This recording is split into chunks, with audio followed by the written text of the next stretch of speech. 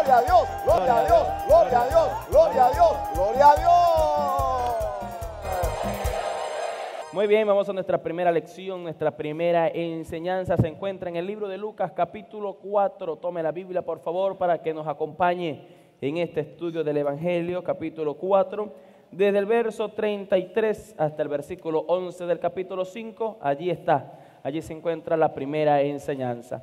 La lectura de la palabra del Señor la va a tener el pastor de la misión 50 de la ciudad de Guanare nuestro hermano Juan Flores Jr. Adelante, pastor, léanos la palabra del Señor. Amén. Hago la lectura con la bendición del Padre y del Hijo y del Espíritu Santo. Amén. Vamos a cerrar con el párrafo de un hombre que tenía un espíritu inmundo. Estaba en la sinagoga un hombre que tenía un espíritu de demonio inmundo, el cual exclamó a gran voz, diciendo, déjanos ¿Qué tienes con nosotros, Jesús Nazareno? ¿Has venido para destruirnos? Yo te conozco quién eres, el santo de Dios. Y Jesús le respondió diciendo, cállate y sal de él. Entonces el demonio, derribándole en medio de ellos, salió de él y no le hizo daño alguno. Y estaban todos maravillados y hablaban unos a otros diciendo, ¿qué palabra es esta que con autoridad y poder manda a los espíritus inmundos y salen? Y su fama se difundía por todos los lugares de los contornos. Amén. Señor, gracias por esta palabra. Señor, yo sé que usted ya nos habló. Ahora envía de tu Espíritu Santo con revelación a cada uno de los ministros, pastores en el nombre de Jesús de Nazaret para que podamos aprender y salir edificados en esta mañana. En el nombre de Jesús, amén y amén. Toda la gloria sea para el Señor. Aquí está hablando la historia ¿eh? en Juan capítulo 4 de un hombre que tenía espíritu inmundo. Pero hay tanta gente con espíritu inmundo. El chismoso tiene espíritu inmundo. El ladrón, el orgulloso, el charlatán, el vanidoso, la persona hipócrita que finge, todos esos tienen espíritus inmundos. El orgullo es un espíritu inmundo, pero llama la atención que este hombre tenía espíritu inmundo y estaba en la sinagoga, estaba en la casa de Dios. Se supone que los que estamos en la casa de Dios no debemos tener espíritu inmundo, porque para eso está la palabra de Dios, para echar fuera los espíritus inmundos. Para eso estamos nosotros, los siervos y las siervas de Dios, para discernir los espíritus si son de Dios. Y donde vemos un espíritu inmundo, inmediatamente le decimos, ¿qué haces tú aquí? ¿Quién te trajo? ¿Quién te invitó? Tú no tienes parte en este negocio. Fuera. En el nombre de Jesús. Y el demonio tiene que salir como el perro regañado con el rabo entre las piernas. Porque Dios nos ha dado poder y autoridad para decirle a lo bueno, bueno y a lo malo, malo. malo. Nosotros, amados hermanos, debemos discernir, probar los espíritus si son de Dios. ¿Qué pasa con ese, con ese rabino, ese maestro que estaba en la sinagoga y tenía un hombre con espíritu inmundo y parece que no se daba cuenta o que sí se daba cuenta, pero no tenía poder, no tenía autoridad para echar fuera el demonio. Me llama la atención, amados hermanos, que en el versículo 32 dice la Biblia que se admiraban, se admiraban de la doctrina de Jesús, no porque hablaba bonito, ni porque hacía reír a la gente, sino porque hablaba con autoridad. Le decía a lo bueno, bueno. y a lo malo, malo, malo. El Señor ponía los puntos sobre las IES. Mira lo que dice en el versículo 33. Estaba en la sinagoga un hombre que tenía un espíritu de demonio inmundo, el cual exclamó a gran voz. Cuando entró Jesús en la sinagoga, el hombre que tenía el diablo adentro pegó un grito. ¿Y por qué no gritaba antes? Ah, porque no reconocía la autoridad de ninguno de los que estaban allí en la sinagoga. Consentían el demonio, compartían con el demonio, ni cuenta se daban que ese hombre tenía el demonio. Pero cuando entró Jesús, el demonio no pudo soportar y el demonio pegó un grito exclamando a gran voz. ¿Cómo dijo exclamando a gran voz, hermano Lester? Déjanos, ¿qué tienes con nosotros, Jesús Nazareno? ¿Has venido para destruirnos? Yo te conozco, quién eres, el santo de Dios. Fíjate, el demonio reconoció la soberanía, el poder de Dios. Y le dijo, déjanos, has venido, has venido tú. Tú has venido aquí para, para atormentarnos. Él, él sabía que el Señor tiene poder para destruirlo. Has venido para destruirnos. Y eran varios, fíjate. Has venido para destruirnos. No dijo, has venido para destruirme. Porque Jesucristo no vino a destruir a ese hombre. Él no vino a matar a nadie, Él ha venido a dar vida y vida en abundancia. Pero los demonios que estaban agazapados, los demonios sí conocen el poder, la autoridad de Jesús. Y ellos exclamaron a gran voz, esa demoniera que estaba dentro del hombre, se pusieron nerviosos como las lombrices cuando la persona huele ajo o cuando huele pasote, las lombrices se revuelven dentro de la barriga y el muchacho tuerce los ojos. Si es posible, cae al suelo. ¿Por qué? Porque las lombrices saben quién las puede sacar. Los demonios no son tontos. Los demonios saben que si llega un evangélico cachilapo por ahí que no ora, que no ayuna, que no vigila, que no se preocupa por leer la escritura, que es una persona que no busca de Dios, que no se congrega. ¿Usted cree que esa persona va a sacar demonios? ¿Qué demonio va a sacar si él los carga dentro? Él no puede sacar demonios. Ah, pero cuando llega un hombre de oración, cuando llega una mujer de oración, entonces el demonio el demonio se pone a temblar. El demonio dice, ahora sí nos embromamos, dicen los demonios, de aquí nos van a sacar. Hasta aquí llegó, hasta aquí llegó nuestra vagabundería. Aquí viene uno que sí nos conoce. Hace muchos años me contó el hermano don David, que ya está en la presencia de Dios, que se endemonió un diácono allá en Maracay y ese diácono lo tenían en un cerro, en una casita bien apartada, porque el, demonio era terrible, arremetía contra la gente. Y los pastores no tenían autoridad. Y los pastores andaban buscando quién va a sacar ese demonio de allá. Llevaron a un evangelista y cuando el evangelista iba llegando a la casa, el endemoniado se asomó por la ventana y le dijo, tú me vas, yo te conozco, tú tienes dos mujeres. Bajó la cabeza y se devolvió.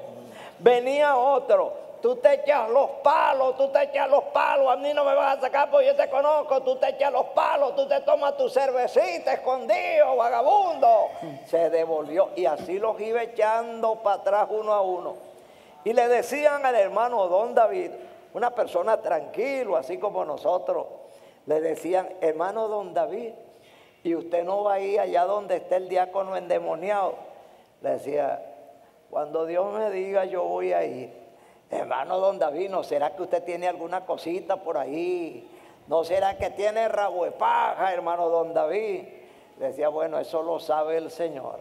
Eso lo sabe el Señor. Hermano, cuando llegó el día, el hermano don David sin mucho alboroto, sin mucha trompeta ni campanas de monaguillo, agarró su sombrero y cuando iba llegando donde estaba el diácono endemoniado, el diácono dijo, hasta hoy estoy aquí. Fíjese eso, sin verlo, hasta hoy estoy aquí. Nosotros nos vamos de aquí. Y cuando llegó el hermano don David Benítez, bendita sea su memoria, no le sacó la cartilla que le sacaba a los demás. Cuando llegó allí, entonces quiso adularlo, enaltecerlo, ponerlo, ponerlo arriba en grande. Cuando iba llegando le dijo, Azuquita, ha llegado Azuquita. Y el hermano don David le dijo, yo no soy ninguna Azuquita, yo soy la sal de la tierra y la luz del mundo. Reverendo, reverendo, yo no soy ningún reverendo, que el Señor reprenda al diablo. Bajó la cabeza y el hermano don David le dijo, voy a leerte tu propia historia.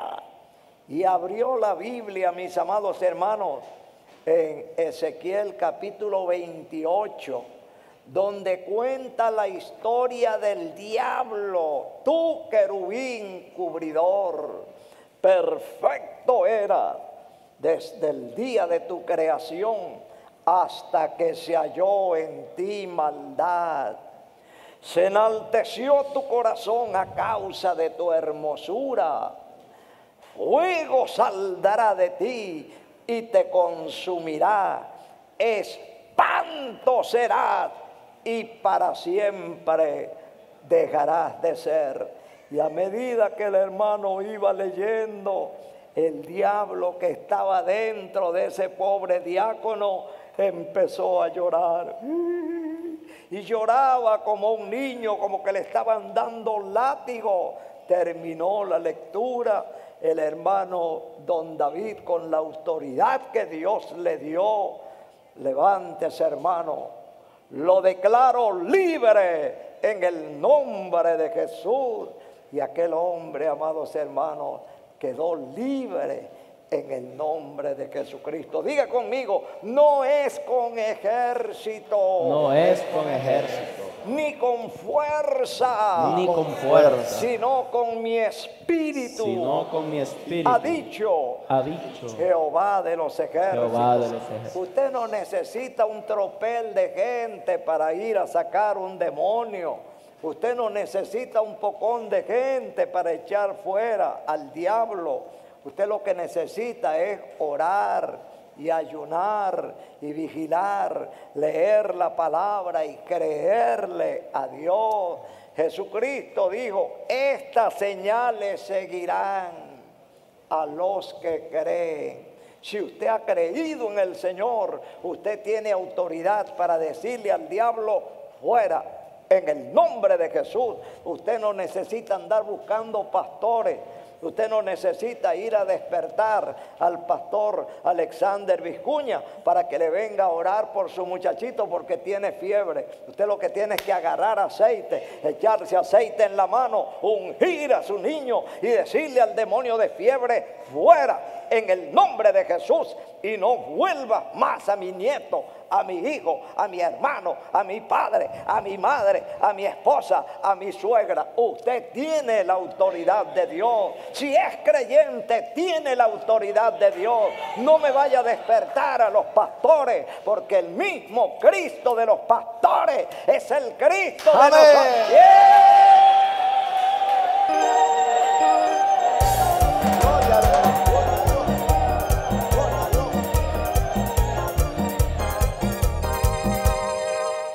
Una vez fallaron los apóstoles, trataron de echar fuera el demonio lunático que estaba en un muchachito y no pudieron echar el, ¡Oh! el demonio movía la cabeza y se burlaba de ellos. Cuando llegó Jesús, reprendió al demonio, el muchacho cayó como muerto, pero el demonio se fue, se lo entregó a su padre completamente libre. Después cuando estuvieron aparte, cuando llegaron a la casa, los discípulos le preguntaron al Señor, le dijeron, Señor, ¿por qué nosotros no pudimos echar fuera el demonio? ¿Qué, ¿En qué fallamos? Nosotros hicimos todo lo que siempre hacemos. Le pusimos la mano en la cabeza, zapateamos contra el suelo, gritamos bien duro, pero el demonio ah, se burlaba de nosotros, nos sacaba la lengua. ¿En qué fallamos, Señor? ¿Qué nos faltó? Anoten este versículo que nos va a ayudar a todos.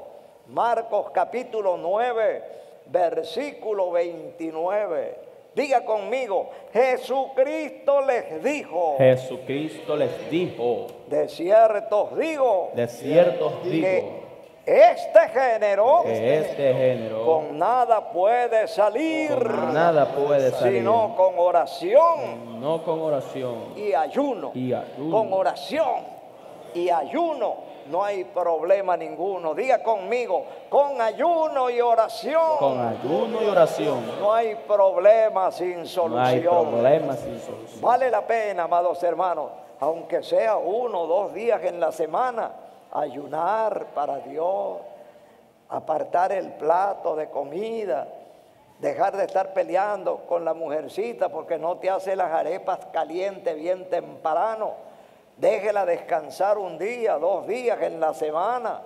Deje descansar a su propio organismo. Y usted verá cómo se manifestará en su vida la autoridad de Jesús para predicar el Evangelio, para echar fuera los demonios. Dios no tiene favorito. El Señor no es Dios de los evangelistas solamente o de los grandes pastores. No, Dios es de sus hijos. Y si usted ha nacido de nuevo, eche mano de la autoridad, vaya a los hospitales a orar por los enfermos, echar fuera los demonios en el nombre de Jesús. Estábamos de campaña ahí en Valle de la Pascua. Y esto que le estoy diciendo a ustedes, espero que funcione, que ustedes lo pongan por obra, porque para eso los ha traído el Señor. Y yo le dije a ellos lo que le estoy diciendo a ustedes esta botellita de aceite con esto, yo unco a la gente y caen bajo el poder de le, le zumbió un Y ellos al día siguiente compraron botellas de aceite y se fueron al hospital. El primero que encontraron en la puerta fue al policía. Le echaron aceite al policía. El policía bajo el poder del Espíritu. Le oraban a los médicos, a las enfermeras, a los enfermos. El hospital de Valle de la Pascua, estoy hablando del año 1977, quedó solo, los enfermos salieron porque los nuevos oraron por ellos, echaron fuera los demonios y Dios se glorificó. Lo que Dios hizo en Valle de la Pascua puede hacerlo allá en Barcelona, aquí en Guanare, alrededor del mundo, porque Dios es para todo el que cree. ¿Estás de acuerdo? cielito. Amén. Amén.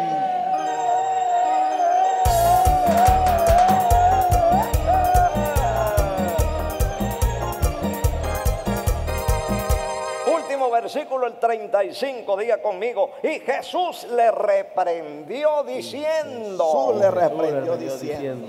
¿Cómo le reprendió Jesús diciendo? ¿Qué dijo Jesús? Cállate, cállate, y sal de él. Y entonces, ¿qué sucedió? Entonces el demonio, derribándole en medio de ellos, salió de él y no le hizo daño alguno. El demonio derribándole, se echó una sacudida, esa demoniera que había dentro del hombre, derribándole, el hombre cayó a tierra como muerto, los demonios se fueron sin hacerle daño a ninguno. Hermano, no le tenga miedo al diablo, no le tenga miedo a los demonios. Cuando a usted le toque orar por un enfermo, órele en el nombre del Señor, que el que está con nosotros es mayor que el que está en el mundo. ¿Estás de acuerdo, cielito? Amén. Gloria a Dios, gloria a Dios, gloria a Dios. Gloria a Dios, qué maravilloso poder tiene el Señor que nos los ha entregado por medio de su Espíritu Santo. Debemos confiar en el Señor. Eh, me corresponde el versículo 36 y 37 de Lucas capítulo 4, donde dice, y estaban todos maravillados y hablaban unos a otros diciendo, ¿qué palabra es esta que con autoridad y poder manda a los espíritus inmundos y salen. Y su fama se difundía por todos los lugares de los contornos. Hay que reprender al diablo con autoridad, con poder.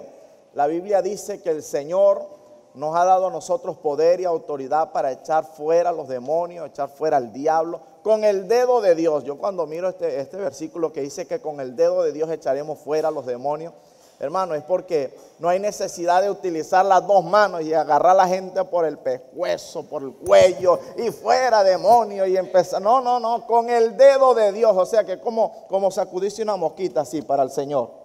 Eso es lo que es un demonio para el Señor. Es para que nosotros tengamos confianza en el gran poder de Dios. Con el dedo de Dios, no importa la cantidad de demonios que sea. Muchas oportunidades se acerca la gente a los pastores, no, que fulano tiene un demonio.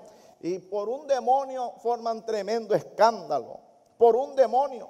En la Biblia conocemos que el Señor Jesucristo en una oportunidad echó más de dos mil demonios fuera de un hombre. No importa la cantidad, el mismo diablo que se presente, si nosotros tenemos el poder y la autoridad del Espíritu Santo, que el Señor nos ha dejado los demonios, el diablo tiene que huir porque el Señor está con nosotros. Hay que hablar con autoridad. Hay que reprender al diablo, no mentalmente, porque hay algunas personas que empiezan mentalmente a reprender al diablo porque le da miedo hablar. El diablo no conoce lo que hay en tu mente, lo que hay en tu corazón. Solamente Dios conoce y escudriña el corazón y la mente. Hay que reprender. Abre la boca y reprende al diablo con autoridad en el nombre de Jesús. Y una de las cosas que le quiero recomendar en el día de hoy es que no tomemos el nombre del Señor en vano. Yo recuerdo que mi padre mi papá eh, biológico, el hermano Juan Flores, él nos cuenta que en una oportunidad eh, andaba en el ministerio, en el equipo, y resulta que comenzaron con una jugadera y se pullaban las costillas y Señor reprenda al diablo, y Señor reprenda al diablo, y todo Señor reprenda al diablo, jugando con el nombre del Señor. Y de repente mi padre dijo que tuvo como una visión, un sueño, que se le apareció un murciélago gigante, hermano en el cuarto y el murciélago se le paraba encima a, los hermanos y los hermanos, Señor, reprenda al diablo, Señor, reprenda al diablo. No, y, y el murciélago lo que hacía era reírse. Hasta que de repente papá como que reaccionó y se paró y dijo, Señor, perdóname, no me vuelvo a jugar más así de esa manera.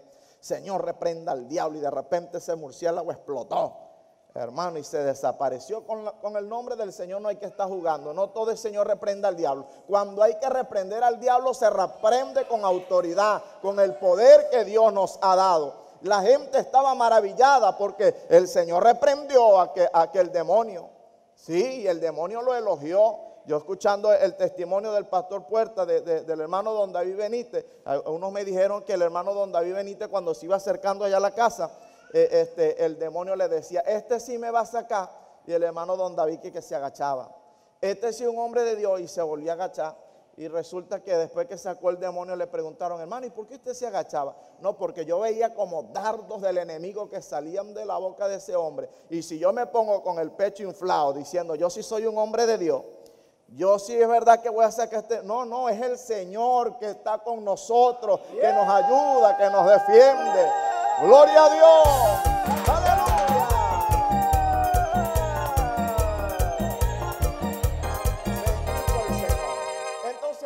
Tengamos miedo. Vamos a andar, hermano, con nuestra frente muy en alto porque el que está con nosotros es más grande que el que está en el mundo. Estamos con el comandante de los comandantes, con el Todopoderoso, con el Creador del cielo y de la tierra. Ande con confianza. Y si el diablo se levanta, los demonios se levantan, nosotros en el nombre de Jesús le vamos a echar fuera. Tenemos un médico de cabecera que se llama el Señor. No importa la hora, no importa el lugar. El Señor sanaba a toda hora, cualquier día, días de reposo, a cualquier momento, día feriado. El Señor está de nuestro lado para echar fuera los demonios, fuera las enfermedades. En la madrugada, siempre en la noche, arrecian las enfermedades.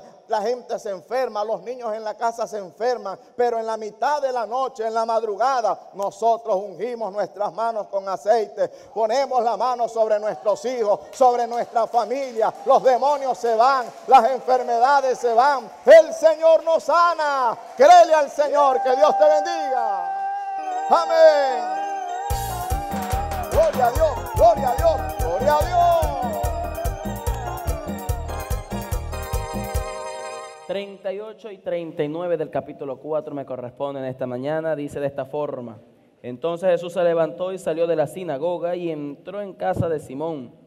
La suegra de Simón tenía una fiebre y le rogaron por ella. E inclinándose hacia ella, reprendió a la fiebre y la fiebre la dejó. Y levantándose ella al instante le servía. Subtítulo Jesús sana a la suegra de Pedro. Que Dios bendiga a mi suegra que está allá en la casa, una mujer linda y hermosa que me dio a mi esposa. Que Dios me la mantenga en salud, que nunca se enferme, que siempre mantenga una sonrisa en los labios. Son mis deseos para la suegra. Hay muchas personas que le desean a la suegra que si le pega una fiebre, que se calcine de la fiebre, que se queme ahí, que si le tiene un dolor de cabeza, que, que si quede. No, y aquí tengo el suegro también, que también me lo bendiga. Bueno, vamos a ver algo interesante. Eh, se ha levantado una campaña, digo yo, demoníaca en contra de ciertos tipos de enfermedades. He escuchado a predicadores y de alto nombre eh, hablar que eso es malo ahora orar por las mujeres eh, que de repente padecen problemas menstruales. No, no, no, no, eso lo hace cualquiera. Eso no es una enfermedad cualquiera, eso no es una enfermedad insignificante. El Señor Jesucristo sanó a una mujer con 12 años de esos problemas y el Señor Jesucristo hizo un milagro y nos marcó ahí que no hay enfermedades insignificantes. Acá está hablando de una fiebre. Cualquiera dice, no, pero con esta pastillita se le baja, con este otro remedio se le baja. Mire, no hay que ignorar las maquinaciones del enemigo. Si aquí el Señor Jesucristo reprendió la fiebre de una mujer, eso nos está mostrando que no hay enfermedades insignificantes. Hay muchas personas que, ¿cómo anhelan, hermano, eh, orar por un ciego para que vea, por un paralítico para que se levante, por un sordo para que oiga. Ah, pero le traen una persona enferma. Ah, sí, hermano, venga, ore por él. Ore usted también por esa persona. No lo, no lo tenga en poco. Es el mismo demonio que está oprimiendo a un ser humano. Entonces el Señor Jesucristo, después del tremendo milagro, cuando desciende de la sinagoga, ahora encuentra que en la casa está la suegra de Pedro enferma y le pidieron por ella y él reprendió la fiebre. Ahora, hay milagros que el Señor Jesucristo hizo acá en la tierra para mostrarnos la condición del hombre al separarse de Dios. Por ejemplo, cuando el Señor Jesucristo levanta el paralítico de Bethesda, mire, nos muestra cómo el hombre sin Dios está postrado, no puede caminar. Cuando el Señor Jesucristo sana a un leproso, mire, nos muestra que la condición del hombre sin el Señor Jesucristo, sin Dios, mire, está lleno de lepras, de pecado, hay destrozos por todas partes. Cuando nos muestra un ciego de nacimiento, nos está mostrando que el hombre sin Dios está en tiniebla, está ciego, pero hay milagros registrados en la Biblia del Señor Jesucristo para mostrarnos su divinidad, para mostrarnos su poder. Este es uno de los milagros que nos muestra que el Señor Jesucristo sana, que tiene poder para libertar de la fiebre, de cáncer, dolores de cabeza, de migraña. Mire que tiene poder para libertarte de cualquier tipo de enfermedad, no importa la que usted esté pasando. Hoy el Señor Jesucristo te puede hacer libre. Cree en Él y verás cómo el Señor va a cambiar tu vida. Que Dios te bendiga y que Dios te guarde.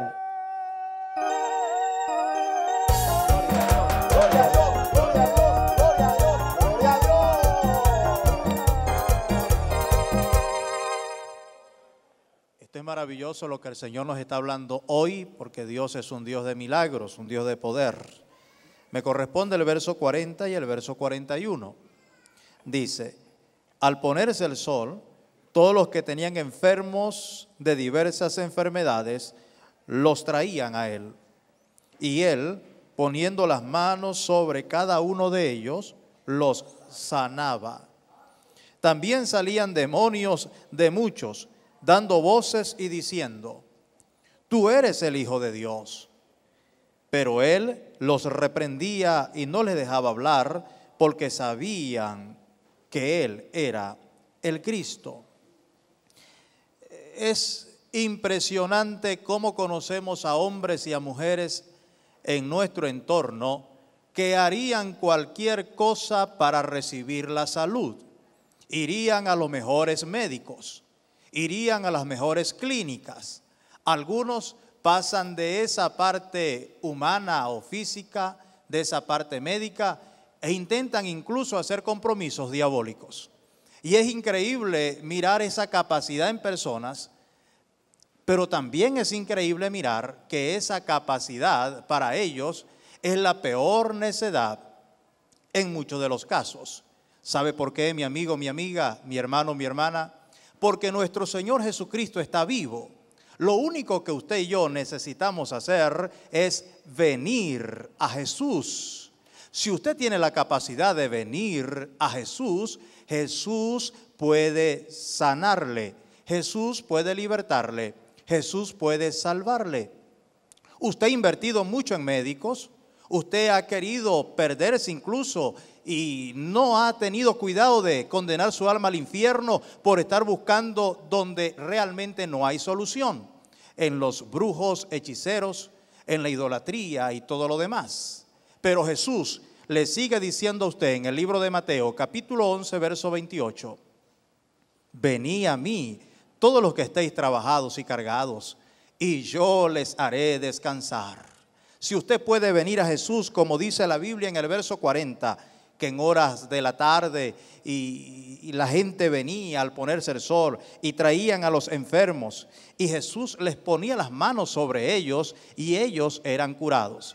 Ese Cristo maravilloso sigue vivo, está con nosotros, está en cada uno de nuestros servicios donde están dos o tres congregados en su nombre, Él está en medio. Jesús quiere tocarte hoy. Solo debes buscarle, solo debes acercarte a Él. No hay demonio, no hay enfermedad, no hay problema que no pueda salir de ti si te acercas a Jesús. Los médicos han fallado, tus creencias han fallado, pero si te acercas a Jesús y crees en Jesucristo y colocas tu corazón en las manos de Dios, entonces Dios te va a bendecir de una manera impresionante. ¿Sabes una cosa? Jesús aquí no recibió los halagos de los demonios. Los demonios siempre intentan halagar a la gente y subirles de nivel para que la gente se confunda y se entretenga y no se acerque al Dios verdadero.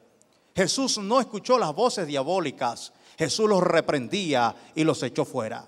Hoy, mi amigo, mi amiga, mi hermano, mi hermana, no escuchemos las voces diabólicas. Vamos a acercarnos a Jesús. El cáncer tiene solución. El SIDA tiene solución. La enfermedad tiene solución. Nuestros pecados tienen solución en Jesús. Tu pecado tiene solución en Jesús. Corre, acércate, que los brazos de Jesús están abiertos para usted. Que Dios te dé sabiduría para esto. Gloria a Dios, gloria a Dios, gloria, a Dios, gloria a Dios. Bien, vamos a la conclusión de este matutino, libro de Éxodos. Allí se encuentra la conclusión, libro de Éxodo, capítulo 1 el verso 20 y el verso 21. Allí estará dando explicación nuestro hermano Jaime Puerta, pastor y fundador de la obra evangélica Luz del Mundo a nivel internacional. La lectura la va a tener nuestro hermano Juan Flores Jr., pastor de la misión 50 de la ciudad de Guanare. Adelante, pastor, léenos la palabra del Señor. Amén. Leo con la bendición del Padre y del Hijo y del Espíritu Santo. Amén. Y Dios hizo bien a las parteras y el pueblo se multiplicó y se fortaleció en gran manera. Y por haber las parteras temido a Dios, Él prosperó sus familias. Amén. Señor, gracias por esta palabra. Ha llegado el momento de la conclusión de las enseñanzas del día de hoy. Te pido, Espíritu Santo, que tome los labios de nuestro hermano pastor Jaime Vance Puerta para que nos enseñe en el nombre de Jesús. Amén y amén. Estamos estudiando acerca de la aflicción de los israelitas en Egipto. Fueron afligidos, sí, en gran manera, cuando vinieron faraones que no conocían su propia historia, que no, no sabían acerca de los beneficios que José había traído sobre Egipto. Dios bendijo Egipto y prosperó en Egipto toda obra de las manos de José. El único país que tenía alimento en esa zona de, del sur y medio oriente y cercano oriente era Egipto. No había comida en Israel, no había comida en los países de alrededor, solamente en Egipto, porque allí estaba un joven en las manos de Dios Dios había prosperado Egipto, llegó a ser la primera potencia del mundo. Pero cuando pasaron 400 años, los faraones que venían al frente de, de ese gran imperio comenzaron a oprimir al pueblo de Israel, los oprimían en gran manera mandaron a matar a los niños varones, que los degollaran, que los arrojaran al río. Le dieron órdenes a las parteras para que no dejaran vivir a los varoncitos que nacían. Pero las parteras fueron temerosas de Dios y las parteras no cometieron ese asesinato. Y cuando el rey vio que el pueblo seguía multiplicándose y creciendo, llamaron a las parteras, ¿por qué ustedes no hicieron lo que yo les ordené? Ellas dijeron, lo que pasa es que las hebreas no son como las egipcias. Cuando nosotros llegamos para atender el parto, ya los muchachos han nacido. Las, eh, hebreas son fuertes no son como las egipcias. A las egipcias nosotros tenemos que estarlas ayudando, pero las, las hebreas, esas dan a luz solitas, son robustas. Y cuando llegamos ya ha desaparecido la mujer que estaba parturienta, se fue con el muchacho, no sabemos dónde están. Versículo 20, diga conmigo, Dios hizo bien a las parteras. ¿Por qué le hizo bien a las parteras? Porque fueron temerosas de Dios, porque no cumplieron la orden de Faraón. Faraón era una figura del diablo. Nadie le pone a su hijo por nombre Faraón. Dice la Biblia que por haberle hecho bien, oiga bien, Dios bendijo a las parteras. Dios les hizo bien a las parteras a las parteras y el pueblo se multiplicó y se fortaleció en gran manera. O sea que ellas ayudaron al crecimiento del pueblo de Dios. Quizás usted no sea un evangelista, un pastor, un maestro de la Biblia, usted no es un predicador radial, pero con su ofrenda misionera, nosotros ponemos una banda allí en la televisora a donde se ve, en tu televisor se ve una banda que dice ofrenda misionera. Si usted quiere contribuir con su ofrenda misionera, usted puede hacer su depósito en la cuenta de la obra y eso es para engrandecer este trabajo que Dios nos ha encomendado. Así como aquellas parteras le hicieron bien al pueblo de Israel, usted puede hacerle bien a la obra de Dios a través de su ofrenda misionera. ¿Y qué dice la Biblia en el versículo 21? Diga conmigo, y por haber las parteras temido a Dios. Y por, haber las parteras temido a Dios. ¿Qué pasó por las parteras haber temido a Dios? Él prosperó, su familia. Él prosperó a su familia. La familia suya puede ser prosperada en gran manera.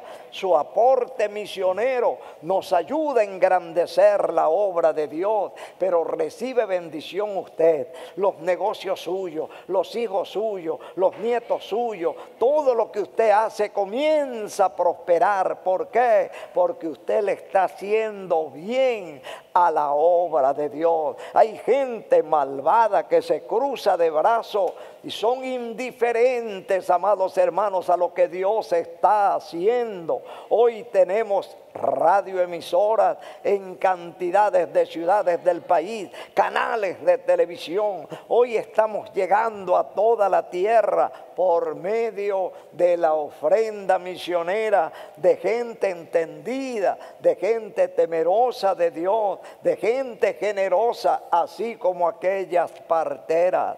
Y dice la Biblia que Dios les hizo bien no solamente a las parteras, sino también a la familia de ella. ¿Quiere usted que Dios le haga bien a su familia?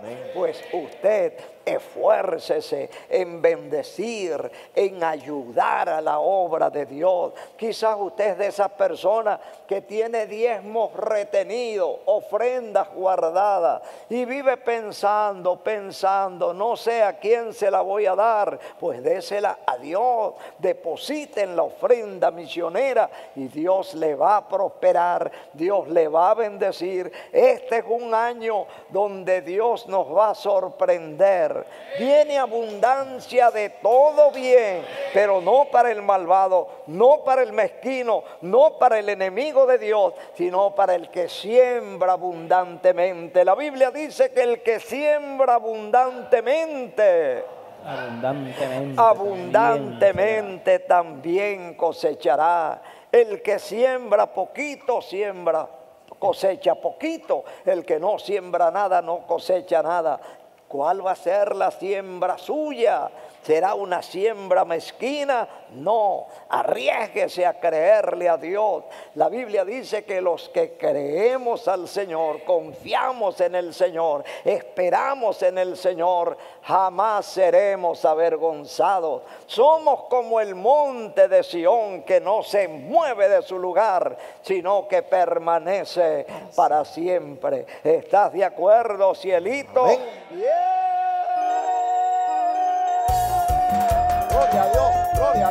gloria a Dios, gloria a Dios, gloria a Dios. Muy buenos días, Dios bendiga al cielito y al cielote.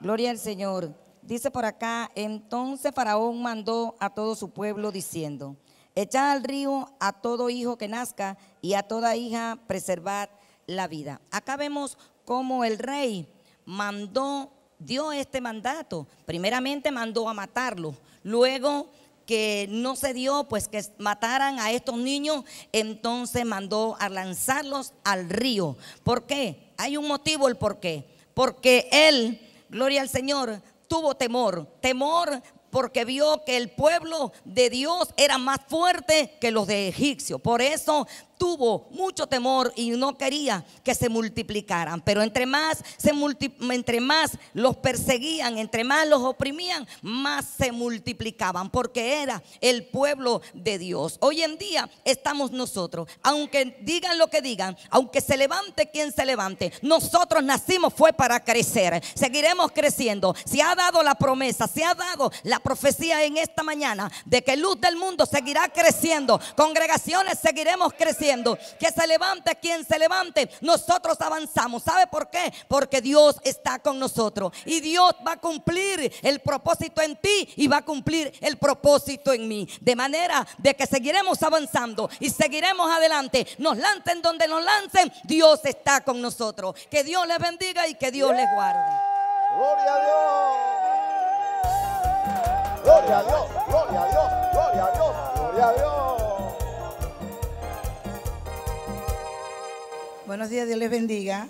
Me toca el capítulo, el capítulo 2 de Éxodo. Dice así: Un varón de la familia de Leví fue y tomó por mujer a una hija de Leví, la que concibió y dio a luz un hijo, y viéndole que era hermoso, le tuvo escondido tres meses. Gloria al Señor.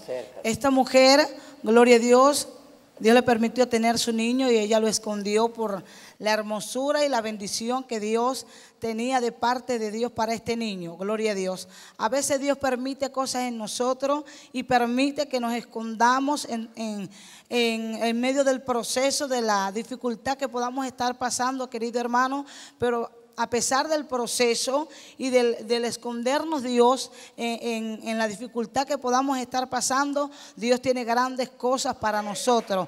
Así como estuvo con este niño y con, aún con su propia madre, ¿verdad? Para bendecirle y cuidar de ese pequeño. Gloria al Señor. Así Dios cuida de nosotros y así Dios, Dios tiene grandes proezas para cada uno de nosotros. Nosotros, el pastor nos dijo, alabado sea el Señor, ¿quién este da el resto nos decía el hermano Vizcuña, para ir a Guanare.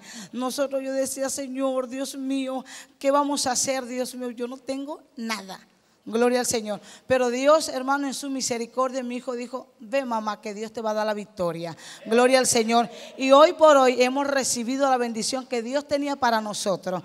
Quizás, hermano, estábamos esperando, no teníamos monetariamente. Esta mujer quizás no tenía para por, la, dificultad que había en este tiempo de esconder a su hijo, lo arriesgó, lo tiró al río, alabado sea Cristo, pero ella creyó que Dios tenía grandes cosas para ella y para su hijo, así Dios tiene grandes cosas para nosotros, esperemos el tiempo de Dios que Dios tiene para nosotros. Dios nos bendiga y que el Señor nos guarde.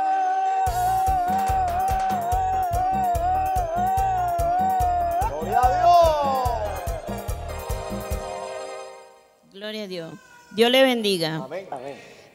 El verso 2, gloria a Dios. Éxodo 2, 2 dice, la que concibió y dio a luz un hijo, y viéndole que era hermoso, le tuvo escondido tres meses. Vemos, gloria al Señor, la bendición de esta mujer, ¿verdad? Sufrida verdaderamente por, por aquel rey, porque vemos que era algo terrible lo cual habían recibido, ¿verdad? Una ley que ellos tenían allí de que los niños varones no podían dejarse crecer. Bendito sea el Señor, por ese motivo esta madre amorosa y esconde a su hijo. Gloria a Dios. Vemos que era hermoso. Hoy la palabra hermoso podemos tomarlo para cada hombre, cada mujer que recibe a Jesucristo. Puede venir del mundo andrajoso, que el enemigo lo tiene echadito a perder en vicio y en diferentes malos caminos, y esa persona aún, gloria a Dios, como muchos lo tienen, como se dice, así apartado. Pero cuando el Señor lo rescata, viene a ser hermoso o hermosa. Bendito sea el Señor. Así que el llamado, amigo, amiga, es para ti en este día. Gloria al Señor. El Señor está haciendo a través de estos matutinos llamado a hombres y mujeres que aún son despreciados. Lo está llamando para ponerlos hermosos como era este niño. Gloria a Dios. Para ti es amigo y amiga. Gloria a Dios. No desprecies el llamado Gloria a Dios, ya que el Señor a cada uno, gloria a Dios, ha traído este lugar para que lleve el mensaje o llevemos el mensaje a aquel mundo necesitado que aunque crea que no necesita de Dios, Dios te necesita y quiere salvarte a través de Jesucristo. Dios les bendiga. Amén. Gloria a Dios, gloria a Dios, gloria a Dios, gloria a Dios. Gloria al Señor. Que Dios les bendiga. Amén. Había un decreto de muerte para este niño y, y, una orden pues de que mataran a todos los niños, pero algo que me llama la atención es que había una mujer con estrategia. Una mujer con estrategia y dice, pero no pudiendo ocultarle más tiempo, tomó una arquilla de junco y la calafateó con asfalto y brea y colocó en ella al niño y lo puso en un carrizal a la orilla del río. El enemigo quizás ha decretado muchas cosas. Quizás ha decretado destrucción para tu familia, destrucción para tu casa, para tus hijos. Pero siempre y cuando haya una mujer de estrategia, y no solamente de estrategia, sino productiva, porque esta mujer tuvo la estrategia de, preparar. No era fácil para ella. Para nosotras las madres no es fácil desprendernos de nuestros hijos. Amamos muchísimo a nuestros hijos. Pero para ella, aunque no era fácil, ella dijo, yo tengo que levantarme como mujer. Yo tengo que hacer algo para salvar la vida de mi hijo. Y dice que preparó una arquilla de junco y metió allá a su hijo. Era triste para ella tener que dejarlo en ese lugar. Pero es que el enemigo puede decir cualquier cosa, puede decretar de que va a acabar con los tuyos. Pero si tú te levantas, tenlo por seguro que el Dios de los cielos vendrá con su intervención para que tu familia sea rescatada. para que tu hijo sea rescatado. Quizás te han dicho tu hijo no va a salir de la cárcel, tu hijo no va a salir del albergue, tu hijo no se va a levantar de allí de donde está.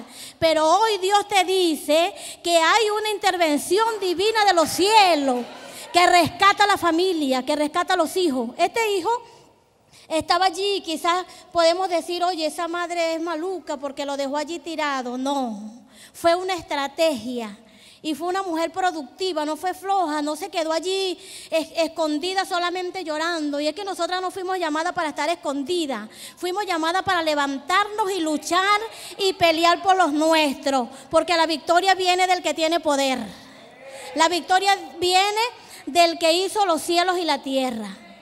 Ana, una mujer de Dios, una mujer de la Biblia, que era irritada y era molestada por su, por su rival, ella no dejó de subir. Ella no dejó la estrategia y fue de subir para buscar el rostro del Señor. Ella no dejó de llorar.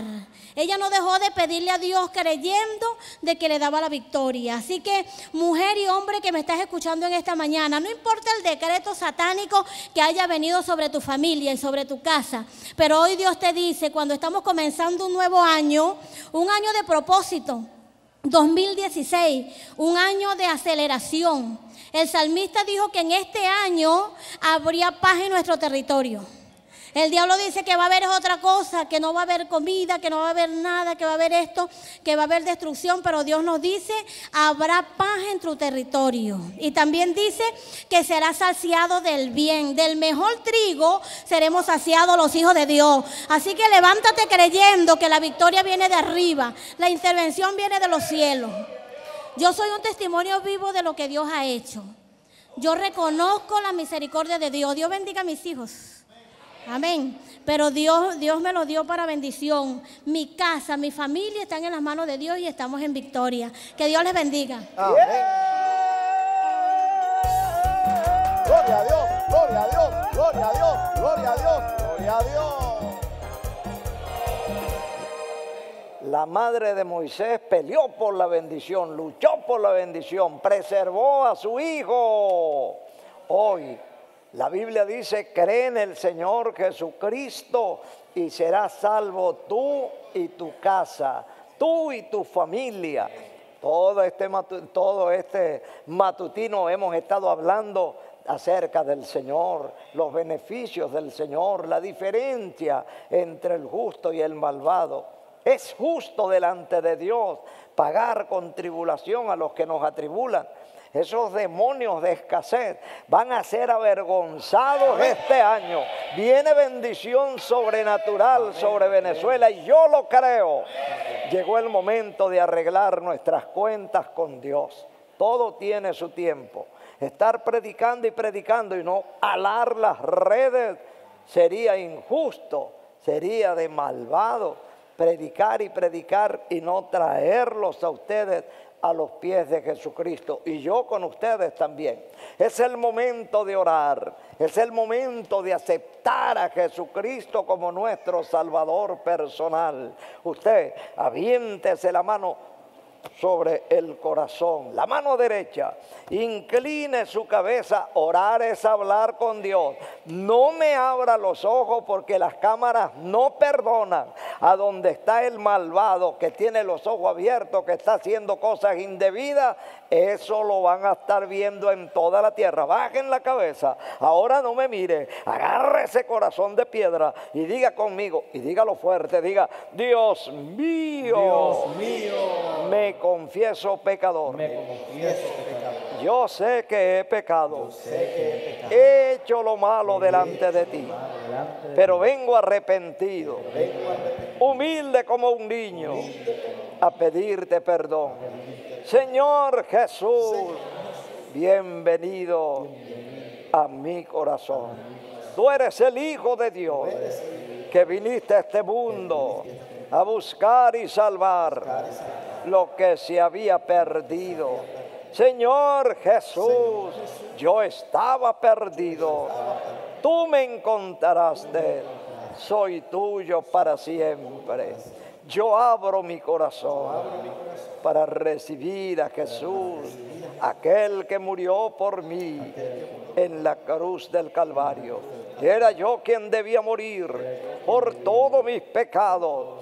Él ocupó mi lugar fue sepultado, resucitó al tercer día, resucitó de los muertos, la tumba está vacía, subió a los cielos está sentado a la diestra del Padre, intercediendo por nosotros. Y un día de venir a levantar a su pueblo. Y después vendrá para reinar en la tierra. Durante mil años reinaremos con él. Y al final de los tiempos juzgará las naciones no hay condenación para los que estamos en Cristo, los que hemos lavado nuestros pecados en la sangre del Cordero de Dios. Señor Jesús, lava mis pecados con tu sangre. Escribe mi nombre en el libro de la vida. Sálvame Jesús. Yo te recibo como mi Salvador salva mi familia, dame el gozo de la salvación. Injértame en la familia de Dios. Oh, gloria a Dios. Soy salvo. Dios mío, recíbeme como tu hijo para siempre. Soy de Cristo. Que lo sepa el mundo entero. Yo pertenezco a la familia de Dios. Ya no estoy solo en este planeta que gira y da vuelta alrededor del sol. Soy de Cristo, que lo sepa el mundo entero.